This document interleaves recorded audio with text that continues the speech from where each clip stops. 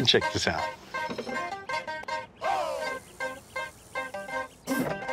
How is that even, how does it even fit? It's a tight fit in here. But like the way you manage the engine compartment, the suspension is crafted just so the headers can see. Like there's like a piece of paper is worth a distance. Right. the way that they have it designed is classic. And the stacks, the intake manifold system reminds me of like the old V12 Ferraris and Lamborghinis with the Weber stacks. It, it truly looks the part. you have a Chevy 6.2, a built 6.2 here. Oh, man. It's making, you know, over 600 horsepower in here.